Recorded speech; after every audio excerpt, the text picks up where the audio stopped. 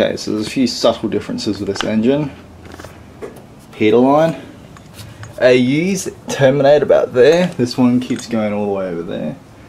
Because the heater core is on the driver's side of the BA Falcon. This engine did not come with coil packs. It was in the description when I bought it, doesn't matter. That engine, or both engine mounts, there's one on the other side that needs to be swapped with the AU because the coil pack sits right up under there pretty bitchy to get it out. I need to take all the wiring off. This throttle body is fly-by-wire, so I'm going to have to take the whole top of the intake plenum off and replace it with the fly-by-wire uh, throttle cable. Injectors are coming out, various other bits, spark plugs, injectors, fuel pressure regulator out of my car because it's better. So I'm going to put, I'm just going to run it off the coil pack, it should be good power steering. I believe it uses a different connector than AU at the power steering pump. I know that it will fit onto the rack, the BA power steering thing, but it needs to be cut, uh, needs to be bent slightly. So that sits up under there. They've moved the, you need the plug for the power steering switch because it sits like right there as the line comes out and around and down manifold should bolt, uh, exhaust manifold should bolt right up. Uh, the T5 transmission should bolt right up. It's the same bolt pattern the fly, the um, flywheel should bolt onto because they're practically the same engine below the cylinder head. There's, other, there's various sensors I need to plug in and replace from the AU to the B series, the Barra. Got a few other plugs there all in all, it should be alright. My tools.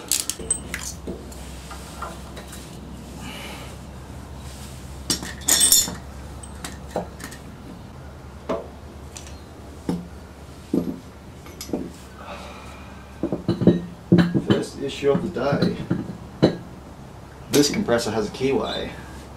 This one doesn't. But can see this idler pulley here and where the AC compressor sits needs to be brought forward slightly. Where's the tape measure? 30 by 30 by 3.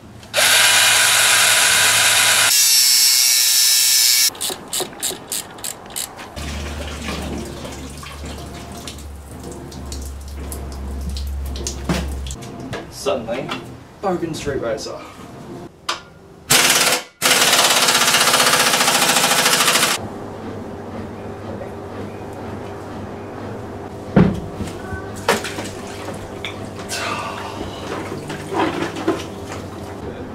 You ate a whole heap of apple seeds, you'd die.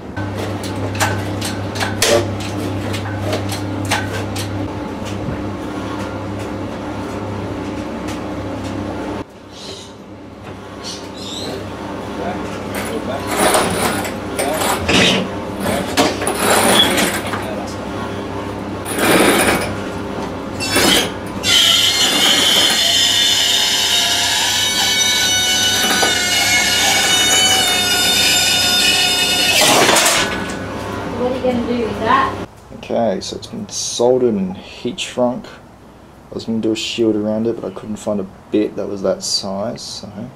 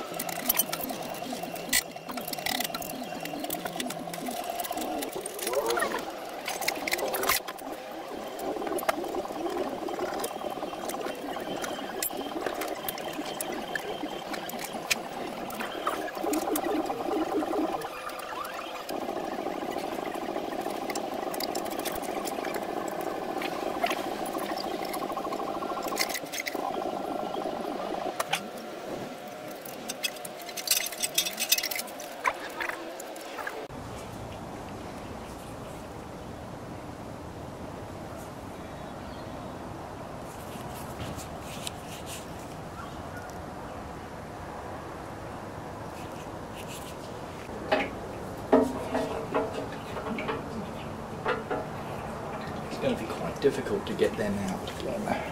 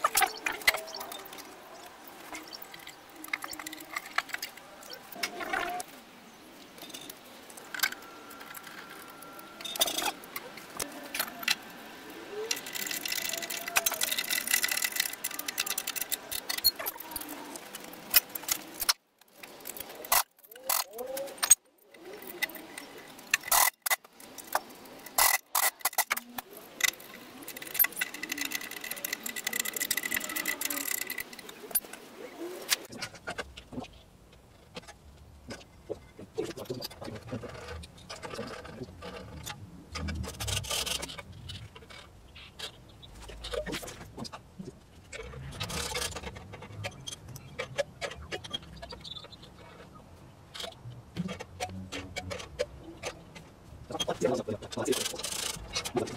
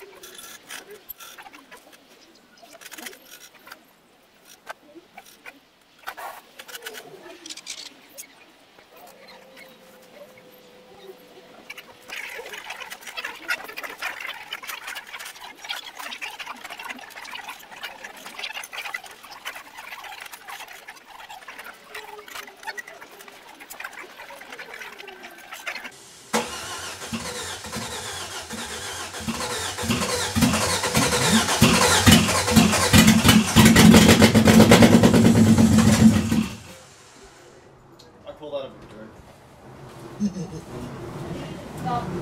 It works.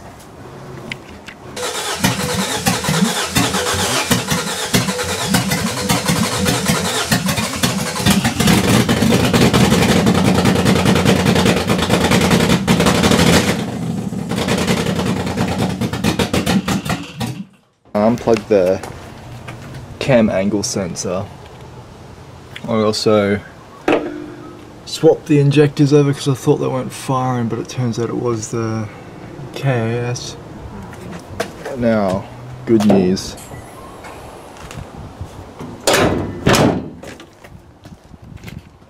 The low-rise bonnet fits the Barra engine, which I was absolutely shocked. Absolutely shocked.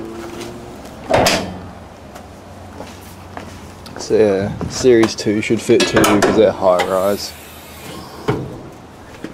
There's a bit of a squeal coming from that idler. I'm going to take it off and grease it. Maybe the bearing shot, I don't know. Front end of the belt is getting a bit warm, but it's stopped. Aircon works. You need to when oh, when you first get it started, you need to adjust the idle in a bit because it will stall. And I'm just sitting here waiting for it to cool down. Took it for a drive. Sounds absolutely amazing. I'm going to take this exhaust manifold off. Use a bit of angle iron that I still have. Make up a bracket so these go on properly. On the top anyway and then I'll use some exhaust cement and that will seal it hopefully so yeah runs it drives okay so I've ended up running the accelerator cable bracket thing to the rock cover? Bolt with a custom bolt thing. And then I just mounted this to where the cover bolt goes.